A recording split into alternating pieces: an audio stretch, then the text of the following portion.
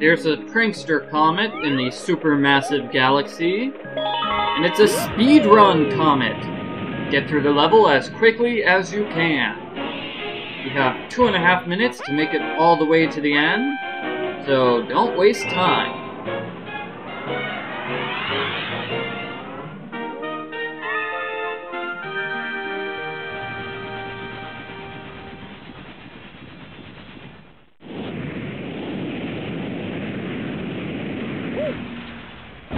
So basically, you already know what to do. Just get to the end of the level as quickly as possible.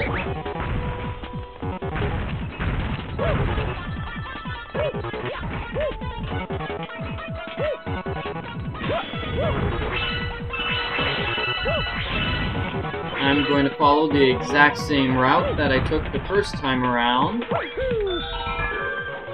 Here, it might be possible to use long jumps to get under both of these enemies at one time. I didn't try that. As you see, I was safe and I just went under one enemy at once.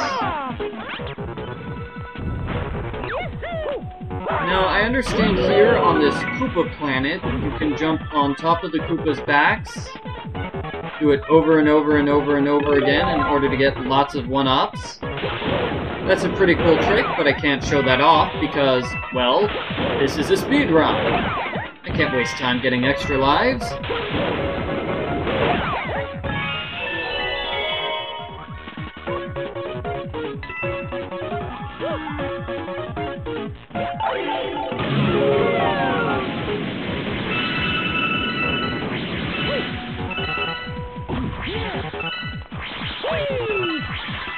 Not much to say here. Just go through this area. You'll notice that I tend to do a lot of long jumps. That's because I think long jumps save you time in getting through an area. Unfortunately, there aren't a lot of good places to use a long jump in this level. There's one big place where you can use long jumps, and that's the area with the caterpillar enemies, which we'll see shortly. I'll go through the first half of this area normally, just to show you what I mean about long jumps saving time. When you go through this area normally, it takes a lot of time, because you have to run after slow Mr. Caterpillar. It's far easier if you do long jumps from ring to ring. See? Saved myself a lot of time there.